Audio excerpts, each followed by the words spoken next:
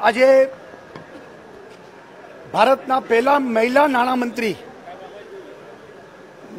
Nirmala સીતારામજીએ budget પેશ કર્યું છે. નયા ભારતના નિર્માણની નીવ મૂકી છે. આ બજેટમાં ઇન્ફ્રાસ્ટ્રક્ચર ડેવલપમેન્ટ સાથે સાથે પાણીની ચિંતા સોલાર એનર્જી એટલે રિન્યુએબલ એનર્જી ઉપરનો વિશેષ જોગ, ભાર ફોકસ એ એમને કર્યું છે. તેવી જ રીતે મહિલાઓની ચિંતા કરીને નારીતુ નારાયણી એ પ્રોજેક્ટ લાવ્યા છે અને સાથે સાથે ખેડૂતોની આવક બમણી થાય.